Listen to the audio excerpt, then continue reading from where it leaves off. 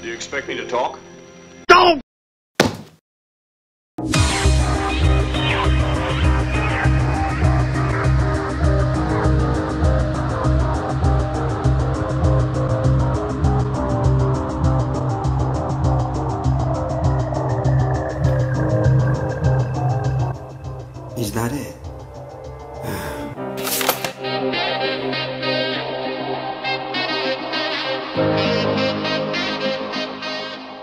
Hi and welcome to XTronical. In this episode we're going to get our ESP32 to talk. Building on that last episode where we connected up our ESP to a speaker via the uh, 8 DAC pin, which we can see uh, is below, and a very cheap audio amp. See this episode link just come up now in the corner if you want to build this simple circuit that you see here, or if you want to watch that episode first. So before we start, let's have a quick demo of what we're going to accomplish today. So if I turn up the volume on this build, we've got the last uh, from the last episode. We should hear a famous phrase from the Star Wars franchise. Let's have a look. Or not. Let's reset that. Oh, wires come out, so that doesn't help. Let's just put that in. The Force will be with you. Always. The Force will be with you. Always. The Force will be with you. Always. The Force will be with you.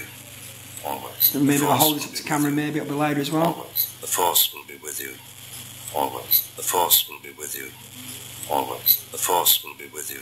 And you get the idea, we'll turn that Force will be down. With you. Always. The Force will be with you. Always. I'll leave it a bit in the Force will be with background.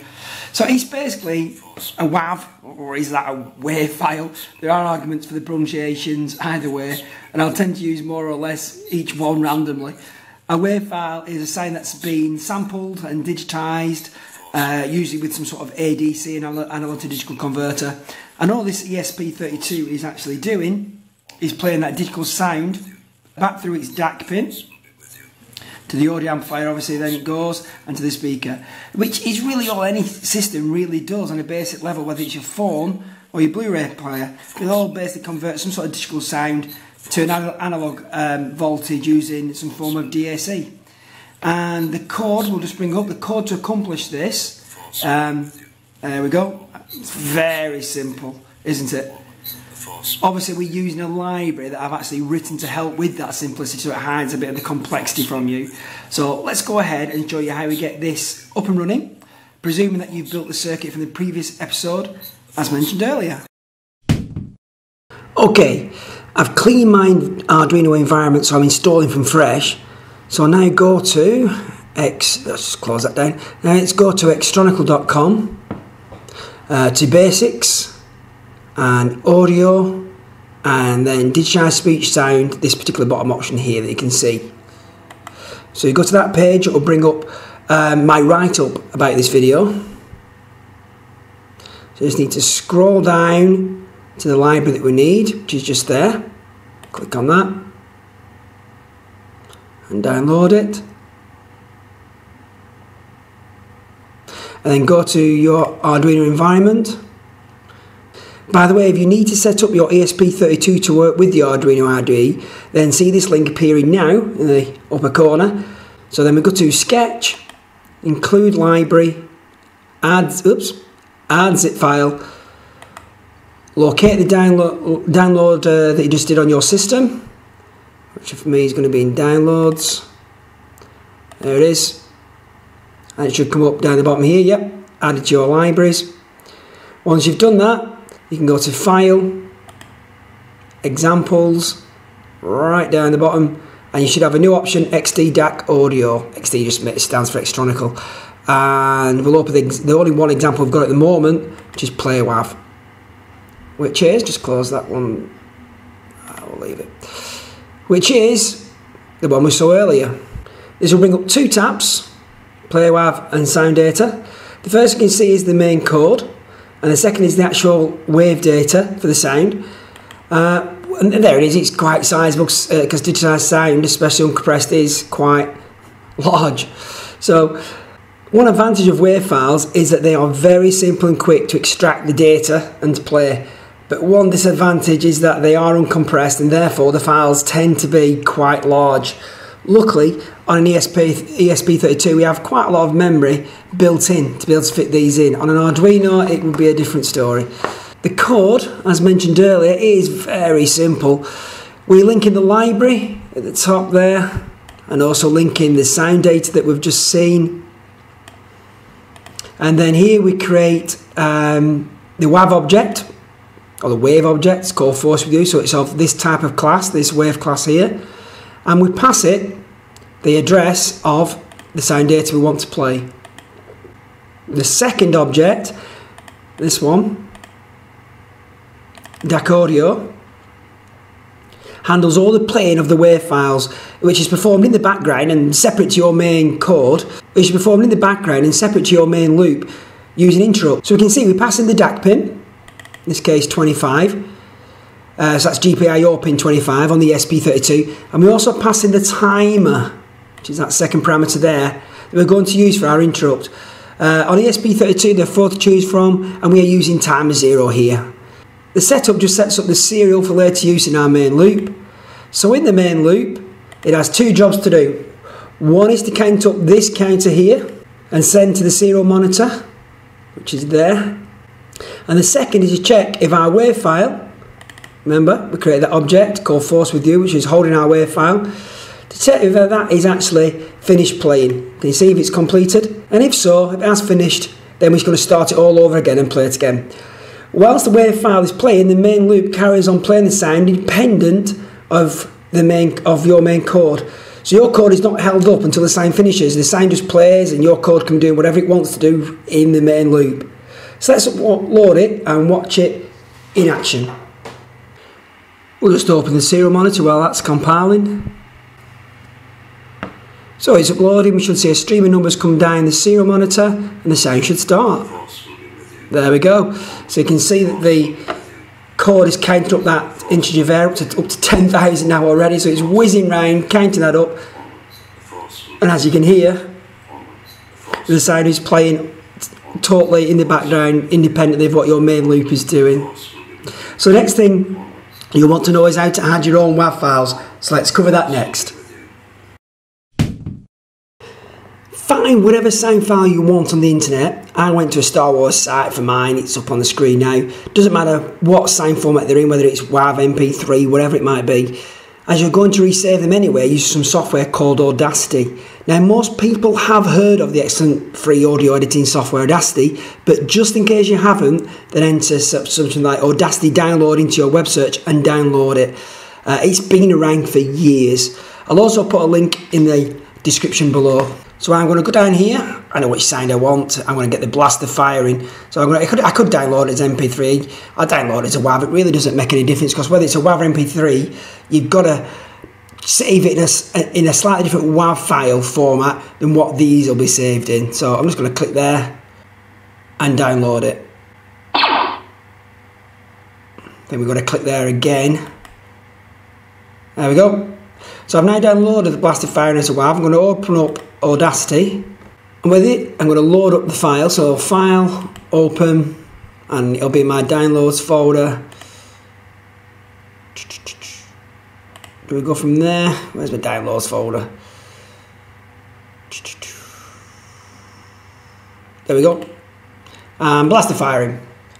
And it may, it may come up with this warning especially if it's a new install and it's just asking basically if you want to work with a copy of your original file or the actual original. If you choose the original, then any edits you do will change the original file. Otherwise, uh, if, you, choose to just make a copy, the original file will be intact. The choice is up to you. I always use it as make a copy and, and then I can click there, don't want again, and click OK. We'll just zoom in a little bit into the file and just scroll that along. So we can see that's the blaster firing. We'll just play it. So we need to export this as a WAV file of the format that we can use in uh, on our ESP32. What I first recommend before doing this though is to reduce the sample rate. The sample rate is how many bytes of information they are we are going to send to the DAC per second and it's here you can do that. So I'm going to select 8000 but just to go over again, the sample rate is actually is how many bytes of information are sent to the DAC per second. And for our purposes, the default CD quality you often get on, uh, on a lot of files off the internet is about 44,100 and is way better than we actually need. You just don't need anything like that kind of rate and it uses up a lot of memory. So we go to the project rate down here on the bottom like I've just done and set it to one of the pre-choices so you can type in your own. If you go too low, you'll find that the quality of the audio is really going to suffer. But generally, we can come quite a bit down from 44,000. Typically, you can go down to about 16,000 for speech and music. For a laser sound, 8,000 should be fine. Once you've done that, you need to go up to uh, tracks, mix, and mix and render. And then that's now rendered it at 8,000 hertz. We can listen to it. Very, very little difference. You could try and risk going down to 4,000 and doing a retest, what that sounds like. But I'm going to leave it at 8,000 for our purposes here. The audio DAC library I've written will cope with any sample rate up to and including 50 uh, kilohertz, 50,000 hertz, without you needing to do anything. Uh, it will inspect the WAV file itself, what you've saved, and work out at what rate it needs to play it back. So no matter what you set here, you don't need to think about having to pass that to anything. It just it'll just look at the WAV file and it'll play it back at the correct speed. But you must always put any file you get through Audacity first to reduce its file size. Because as I said, they're usually a lot bigger than what we need. Don't waste precious storage space unnecessarily. Reduce it as much as you can until the quality becomes too much to lose for yourself. In addition, we need a particular format of WAV file uh, so we'll go to, now we need to save the site, so we'll go to Save Other, Export as WAV. Then we go to, ignore, although it says WAV file, Microsoft, everything there, we do not want 16-bit PCM. So I'll go down to Other Uncompressed File, make sure that's set to WAV Microsoft, and if it's not set for unsigned 8-bit PCM, then set it to unsigned 8-bit PCM and then we'll, we'll click uh, save somewhere. We'll save it onto the desktop or something. Although I can see I've been doing some testing with these already. So I'll just put, I'll call it Blaster New, then we can see which one we've been using. So Blaster New, we'll save there. And just click OK there. Next, we have to get this data into our Arduino IDE as some sort of C code like we saw earlier. I'll show it you again, let's just bring it up. If you look, it's in nice avoided bytes, all in C code. Uh, at the moment, it's just a raw file. What you'll need is a hex editor. Don't worry if you're not sure what this is. It's just some software that allows us to edit files at the actual byte level. But we won't be using it for that functionality. We'll be using it for its ability to be able to save the file how we want it in C text format. The hex editor, hex editor I'm recommending is called Hext or HXD I'll put a download link in the description uh, below again, or you can search for HXD Hex Editor in your web browser and you should get it. So I've got it here, I'm just going to open it up and I'm going to click open and get the actual file we've just had, which was Blaster New, we called it. Click open. And that's the raw data, you can see all in those bytes. All we need to do now is do a select all on the data like that. So I'm just doing a Control A to select everything. Could have gone up to the end edit menu and put um, select all. Would usually be on there somewhere. There it is at the bottom. So I've selected all, and then I want to copy that, but I just don't press Control C. Otherwise, I'm just going to copy data that's not appropriate for the for putting into the Arduino IDE. You need to go to Edit again, go down to Copy As, and select C, that option there and that's now copied it in a text format suitable for pasting into our Arduino IDE. So let's switch back to that. I'm going to add in another, let's create some space there. I'm going to leave that original sound in, there's no reason not to. And then I'm just going to paste in the blaster firer. So that is now the blaster put in. You can see if I go a bit down, you can see the other one's still there, the force. And I'm just going to call that blaster data, something like that. We can get rid of that bit of comment that's been pasted as well. We don't need to know that. Um, we'll make sure it's stored in progmem. I think it does this by default anyway on the ESP32. a little bit different on the Arduino. It needs to sort of be explicit, but we'll keep that in for compatibility. And then we'll go back to Play WAV, change the WAV file here to blaster data, and we'll recompile. So it's uploading, so we should start with the blaster laser sounds very soon. Turn that up. Oops, it's me catching it. Okay, so it's good. Works perfect. Even a little annoying. I'll just turn that down a bit. And what you could do if you wanted for an exercise for yourselves, if you're building this, you could change your chord a little so you could play either sound. Um, you could choose two GPIO pins, and depending which one is say grounded or something, or put to positive volts or whatever it might be, you could play either of the of the two sounds. One thing to notice: if you repeat playing the same sound, it will, or anything when you play a new sound, it will stop the old sound playing and then play itself. But I'll leave that up to you if you want to give that a try and change it. That's it for now. I'll be expanding on this library. In fact, I've, I've been writing, uh, expanding on it already in the last day or so. In the next episode, I'll, I'll give it more functionality.